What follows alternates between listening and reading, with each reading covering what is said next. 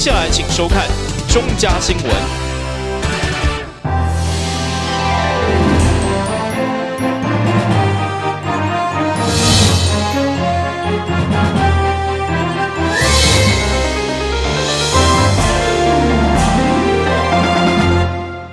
观众朋友，大家好，欢迎收看中嘉新闻，我是蔡小军。新闻一开始呢，要先带你来看基隆伊娜爱运动特色游戏闯关活动，结合基隆在地的元素设计，打造了幼儿六大体能闯关游戏。昨天在深美国小登场。伴随台湾在奥运表现上的好成绩，以及十月份的全国运动会，基隆市政府教育处十月三十一号特地在深美国小举办二零二一给朗伊娜爱运动的特色游戏闯关活动。一向非常喜欢孩子的基隆市长林佑昌，在教育处长林助理以及市议员陈怡等人陪同下，特地到现场为运动中的孩子们加油打气，也受到家长和小朋友的热情欢迎，不停要求跟市长合照。亲和力十足的林佑昌来者不拒，反而像是市长个人的粉丝见面会。谢谢妈妈，谢谢。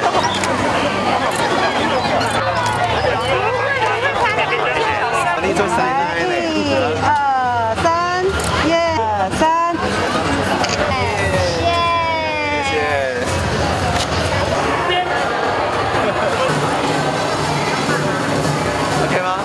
不止合照而已，到每一个闯关游戏，关心的市长林佑昌也非常仔细听取教育处安排这场运动闯关游戏的报告。对于利用简单、安全又不复杂的各种设施以及运动道具，让孩子们借由各种闯关游戏运动大肌肉和小肌肉，并且鼓励孩子独立闯关，玩出健康心灵。林佑昌认为可以好好推广到各个学校。呃，今天是我们特别举办这个小朋友的体能啊闯关的一个活动。那刚好疫情也比较趋缓，那所以爸爸妈妈很踊跃带着小朋友一起出来哦。那大家可以看到，这一次我们园方跟教育处，呃，针对这一个闯关的这些呃游具哦，做的很细心的一个设计，而且它收纳也非常方便。呃，所以我刚刚跟处长跟园长讨论哦，其实未来呃也可以进一步在我们的呃幼儿园里面。啊，就可以把这些设备把它转化成是园内里面的设施。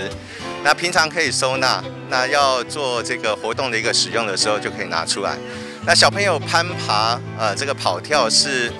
这个呃很基本而且是必要的一个体能的一个训练哦。所以我们也希望小朋友，呃，在呃这个学校的时候，然后呃平常活动的时候就有这样的一个锻炼的机会。对你看呢，其实其实这个攀爬哦，其实有一些小朋友不太敢爬哦。对，就是平常哦，可能没有这个机会玩这个游具。那这个，我觉得小朋友应该在他们成长的各个阶段，其实都应该体适能方面都啊有这个得到锻炼的一个机会，对他们长大之后的身心的健呃健康哈，还有这个身体的一个发展，我想也是非常有帮助。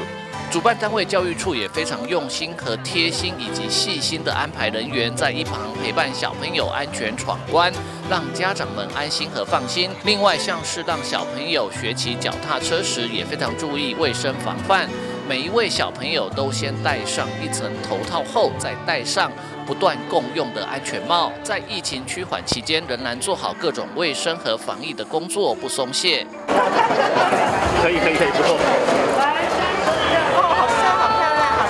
除了为闯关的小朋友加油打气之外，市长林佑昌也很细心和用心，当做视察校园环境，注意到深美国小包括活动中心顶部隔热层剥落等问题，都要求教育处协助校方整修改善。林佑昌最后也为完成各项闯关游戏的小朋友们挂上金牌，并且赠送爆米花作为奖励，鼓励小朋友们培养运动的好习惯。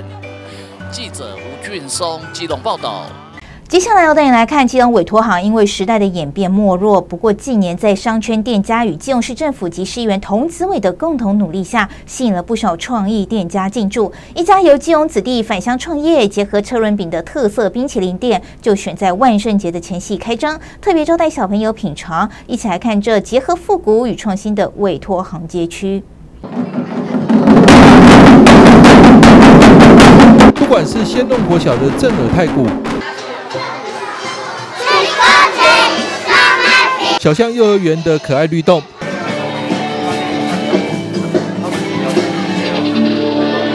还是仁爱国小舞蹈班，与成功国小音乐班的专业演出，都让人感到开心。这里是基隆市委多行街区，近年来在基隆市政府与当地市员同志委合作推动下，保留了委托行原有风貌，更加入了创新，吸引了不少青创店家进驻。像这家由基隆子弟返乡创业的双色冰淇淋店，就选择在万圣节前夕开张，特别招待小朋友品尝。基隆市议员杨秀玉、张浩瀚、林敏勋与基隆市政府光及城市行销处处长曾之文及社会处长吴挺峰，也应景的打扮成皇后、巫师等造型出席，力挺在地产业振兴，也对委托行街区的蜕变大表肯定。那这一条这个这个委托行街哈，非常的热闹哈，也是我们怀旧怀旧的一个怀旧风哈。那谢谢我们这个呃我们童子委同议员哦，他在。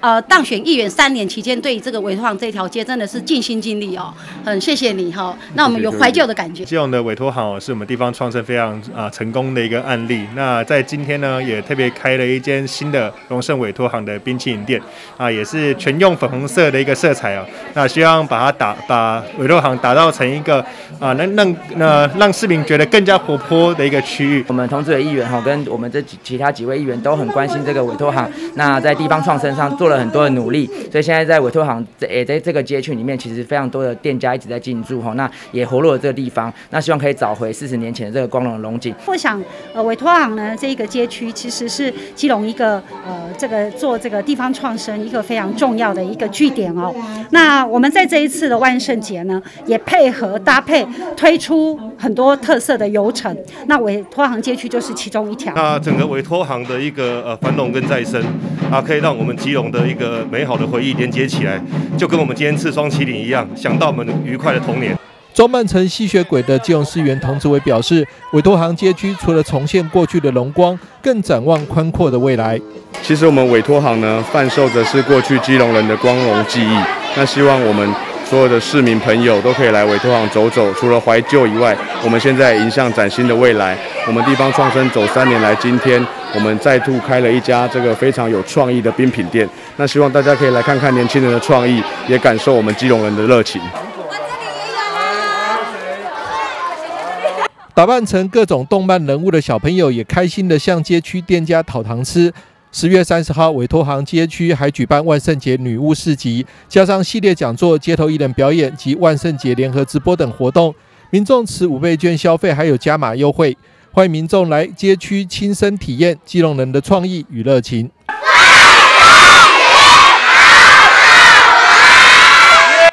记者张启腾基隆报道。接下来要带你来看基隆海洋科技博物馆潮境海洋中心里，有上千种的海洋生物，在人工照顾饲养下，需要饲育员悉心呵护。疫情逐渐解封，海科馆就举办了一日饲育员的职能体验，邀请亲子参加饲育员一天的工作。小朋友小心翼翼剥虾壳，将虾子剁碎，但这还没完。要分饲料合哦，捏捏。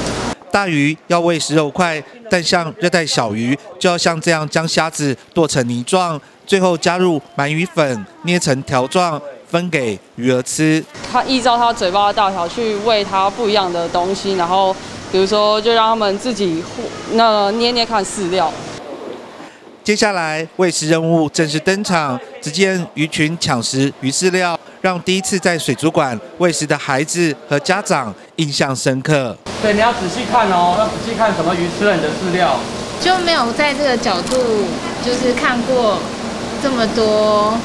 大大型的，对，要大型的鱼类这样。平常工作也是非常的忙碌啊，所以希望说能够来参与的这个小朋友，可以在参与的过程中，实际的体验和实际的知道我们平常准备的喂食的工作和平常。这个做清洁啊、整理的这个工作的细节。海科馆朝境海洋中心内，饲育员每天都要照顾海洋生物，到底在忙些什么？令外界好奇。疫情逐渐解封，海科馆举办了一日饲育员职能体验，邀请亲子从制作饲料、喂鱼到清洗鱼缸，样样都来。喝海海星星海星，那感觉怎么样？重重的。然后下面有吸盘，一粒一粒的。一粒一粒的，会不会害怕？不会啊。不会。但是他应该会害怕吧？对啊，就很喜欢海洋生物，所以就想说他他是他有兴趣的东西，对，所以就会想想要带他来。我们也常常参加海科馆活动，不错啊，可以可以让小朋友看到看到很多海洋的东西。来到浮游生物饵料区，透过放大镜认识浮游生物的饵料是如何进行喂食。因为一般的民众可能会很想要养生物在家里面，可是他不知道一个水族馆里面其实是有很多的心力在后面。那我们希望透过一日饲养员啊，大家有机会来照顾生物，可是也有机会去认识，要养一个活体在人为的环境里面是需要花很多的功夫，你要帮他。整整理适当的饵料，还有另外一个就要注意水质哈。那这个就是这个的目的。我们希望推广未来，就算你要养生物的话，你要好好照顾它，然后应该注意哪些重要的事情。这些饲养员每天与海洋生物相处，说简单也不简单。除了要有专业知识，更要有一颗爱心。海科馆职能体验，让外界知道饲养员辛苦的一面。记者黄少明就用报道。基隆市文化局二零二一向大师致敬活动，基隆彩虹灯塔影展揭幕喽！由策展人知名的导演周美玲的得奖作品《刺青》。大头阵吸引了不少影迷到场。由于二零零五年第四十二届金马奖曾经在基隆市举办，基隆市长林永昌就指出，在文化中心整建及国门广场等环境改善工程完成后，希望能够邀请金马奖重返基隆，让电影人及影迷能够在美丽的山海城市中享受金马盛宴。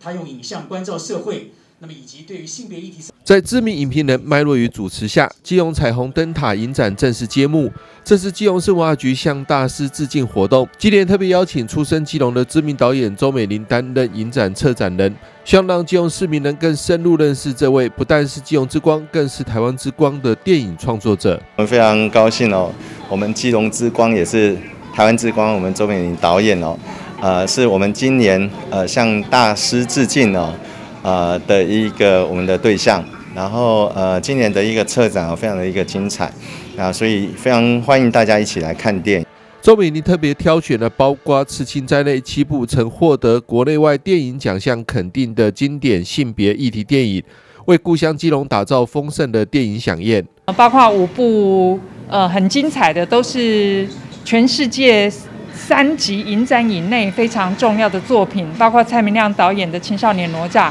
张作骥导演的那个《醉生梦死》，还有杨雅哲导演的《女朋友男朋友》，当然还有我自己的《刺青》，还有《艾莎》，另外还有拿到柏林泰迪熊纪录片奖的，呃，黄慧珍导演的《日常对话》，就是有很多精彩的电影，还有纪录片，很欢迎各位基隆市民们。呃，赶快来观赏。除了举办彩虹灯塔影展，基隆市长林佑昌更希望在完成挖中心整建及国民广场环境改善工程后，能邀请金马奖重返基隆举办。这项提议也获得导演周美玲的大力支持。文化中心也正在呃整修哈整建，然后这个演艺厅也整个翻新。哎，所以搞不好之后这个金马奖应该可以移师哦到基隆来，然后旁边又有这个山海的一个美景哦。那国门广场、城际转运站，还有包括呃这个游轮转运站，全部都会完工哦。所以我觉得以后有一个山海呃的一个城市来举办金马奖，哎，应该是未来很有卖点的一个地方啊。所以一边嘿，所以一边来看电影。地毯如果就在海港旁边，呃，大家就是电视在转播那个明星走红地毯的时候，就可以把我们基隆的美景带到全国的观众。电影播映后的讲堂更令人期待，除了周美玲，包括知名导演蔡明亮、张作骥、黄慧珍及台北影展新科影后杨静、演员黄尚和，也分别与影迷们面对面畅谈，让影迷不仅欣赏到精彩的电影，还能进一步了解导演的创作理念与演员如何揣摩剧中角色。记者张其腾、金勇报道。在电影来看，位在基隆市中山区的两座公车候车亭，因为老旧漏水的关系，下雨天总是外面下大雨，里面下小雨，让等车的民众非常的困扰。市议员张炳军就特地邀集相关单位会勘，决定在一个月内整修改善漏水的问题。下雨天等公车时，如果候车亭里面总是发生外面下大雨，里面下小雨的情况，您气不气呢？位在基隆市中山区的统一新城站和中山区行政大楼站两座公车候车亭，因为老旧漏水的关系，总是让等车的民众又困扰又生气。而接获反映的基隆市议员张炳军特地邀集当地德和里长以及公车处人员一起会勘，也决定将在一个月内整修改善好漏水的问题。是因为这个公车亭已经很久没有在做维修了，所以它年久失修，都有一些漏水的状况发生。哦，那我们请议员邀请公车处来办理会勘，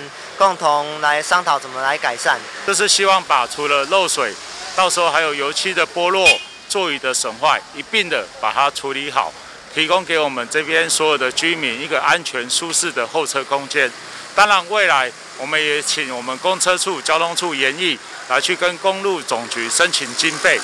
我们希望把同一新城的候车亭把它加宽、拓宽，因为这里其实呃大概有三四千人的住户都居住在这边，也有许多的社区，如同一新城、台湾透天、传家宝，甚至未来的新横滨，还有美之国这些的住户都会用到这个候车亭，所以我们希望。我们考虑到未来，然后将会申请的经费，把它拓宽，让给所有的居民更安全舒适的候车空间。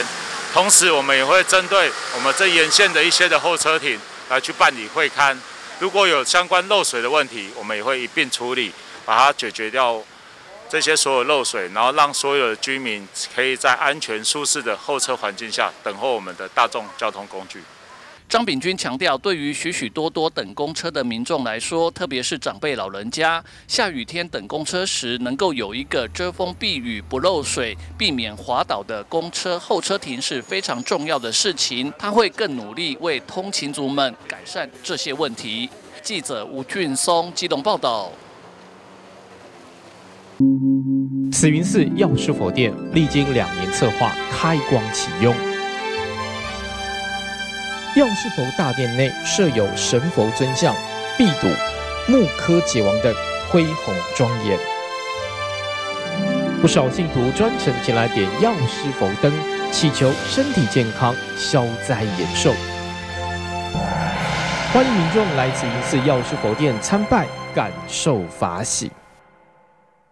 唉，想工作却跟不上现代科技。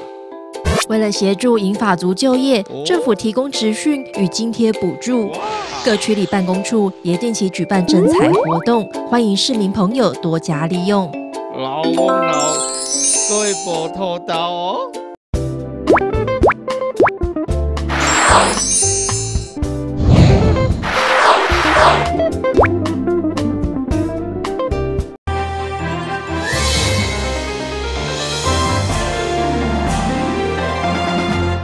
欢迎回到中嘉新闻现场。基隆又出现了急诊室的暴力事件，一名男子酒后失控，和别人起了冲突，从救护车上一路闹到了医院，还出手攻击警方派出的快打部队，最后依妨碍公务移送法办。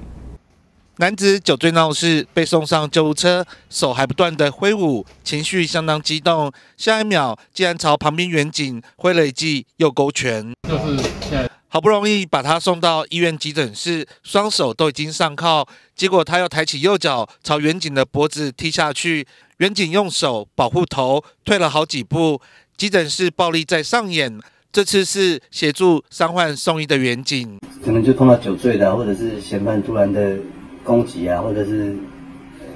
呃导导致我们的伤受伤那样。如果还手还的手的时候，就会涉及到法律问题，就是会涉及到伤害的部分了。对，常常会遇到那种比较有精神方面的状况，那他常有时候甚至有拿刀的行为。那我们同事哦都常教育他们说，就是要有保持适当的距离。这一起酒后闹事脱序的行为发生在上个月二十五号凌晨，男子先在庙口一间 KTV 唱歌之后，再到附近的庙口吃宵夜，结果情绪失控，跟对方起了冲突，大打出手。远警到场处理，他竟然又攻击远警。啊，本所同仁啊，将民众啊送上救护车啊的期间啊，遭受啊民众啊在这个救护车及啊整间啊遭受了暴力攻击啊啊，本所啊立即将该名嫌犯啊以啊伤害及妨碍公务的现行犯啊啊移送啊基隆地检署侦办。男子酒醒之后，这挥拳踢脚的代价可不小，就是面临妨碍公务跟伤害罪。对于急诊暴力，不管受害的是医护人员还是员警，警方表示一律零容忍，绝不宽待。记者黄少明借用报道。国民健康署一百零九年国人吸烟行为调查发现，从一百零七年开始，十八岁以上女性吸烟率提升，哎，显示烟品对女性的危害不容忽视。因此，国民健康署鼓励女性吸烟者要勇于戒烟，为自身与下一代的健康着想。陈小姐在国中时期受到同学影响，戒吸烟，融入团体，一晃眼已经二十四年。曾认为吸烟是放松压力，但两年前女儿的一句话改变了她，最后成功戒烟。就抽了二十几年，到有一天，我的女儿前两年，我的女儿跟我讲说：“妈妈，你抽烟好臭，而且你好丑。”然后因为这一句话，我觉得哎。怎么会有人跟我讲这一句话呢？然后我就跟想一想，哎，原来我是这样的妈妈。然后我觉得，哎，那我是不是应该要戒烟了？想了一个礼拜，我终于把烟放下来了。因为我想珍惜我的女儿，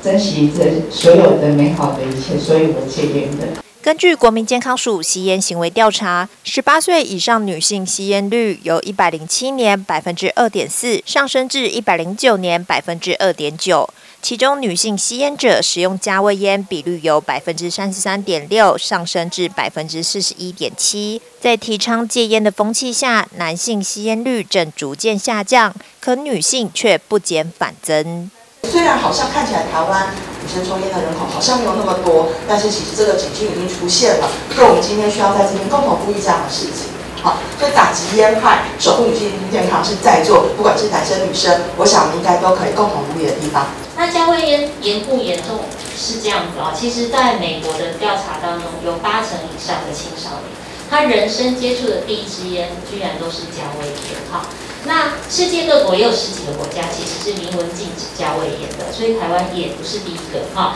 那再来是呃我们在加味烟的处理当中，大概就是把什么花香啊、果香啊、巧克力香啊等等哈，这些呃就是所谓中央卫生主管机关明文禁止的添加物，我们都希望我们不要放在我们的烟品当中，因为我们真的很怕我们的青少年呢，他是因为好奇，或者是因为觉得嗯。愉悦，有舒适感啊，或者是呃，因为觉得他这样子不会比较烟害，比较不会危害哈，而有这样的错误认知，反而加重他烟瘾的形成哈。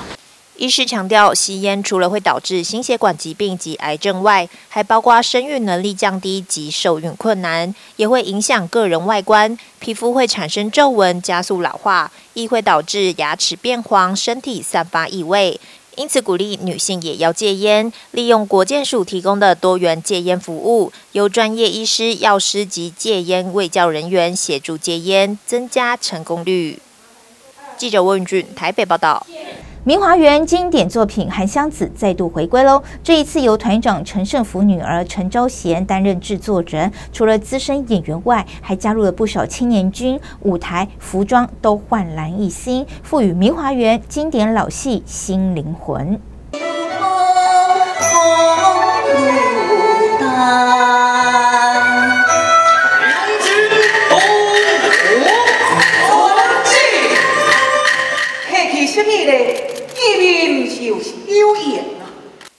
湾戏曲名小生孙翠凤饰演痴情男主角韩湘子，用他的真情在历经数百年轮回中寻找爱妻。明华园经典作品《韩湘子》好戏再度开箱，在文本不变下，舞台设计、服装道具皆焕然一新，高规格打造别具特色的视觉盛宴。这一次呢，我赋予它一个新的角度。所以我包括衣服的颜色，我都让它改变了，变成紫色，不再用蓝色忧郁，忧郁一下下就好。因为我觉得现代人很多人都是执着在自己的工作岗位、生活态度上，很多人也都会忧郁，而且求助无门。我不希望再把这样的负面的能量告诉大家，我希望大家在忧郁当中呢，我们要有一存着一个希望。有希望就要打起精神。我们这一次的整体的视觉美学我们希望朝向一个轻时尚，所以它轻轻的、淡淡的，但是我们用大量的线条去勾勒出每一个场景的不同，不管是香江，不管是天界，或者是神仙界等等，那也用双层次的色彩去描绘每一个代表每一个不同的区域。韩湘子下凡寻找妻子，遇见了面容相似妻子的三名女子，而这四个性格相异的角色，全由郑雅生扮演，在舞台上大秀实力与演技。因为这个戏其实是几年前在两天院演过，已经很久，是七年前在两天院演过。然后呢，团长把它给封箱，然后呢，现在能够再把这个经典拿出来再演，那更令人高兴的其实是招贤。变成这次的制作人哦，呃，我自己就觉得能够有一个作品经历这么多的时间，然后有第二代来，哎，其实应该是第三代了嘛，第三代，第三代来接手成为制作人，这件事情的那个意义，呃，用来说，真正是这个表演艺术产业的某一种福气，或者是我们的某种对未来的希望吧。这部戏暌违十七年回归，加入不少七八年级新生代，重新诠释角色，增添亮点，也将传统戏曲传承下去，延续精彩。记者汪云俊台北报道。以上就今天的中加新闻，也欢迎您到中加新闻的脸书及 YouTube 按赞，就能及时获得最新的在地新闻。另外，我们也与 FM 轻松电台九六点九联合直播，欢迎准时收听。非常感谢您的收看，我是蔡小军，祝您一切平安，我们再会。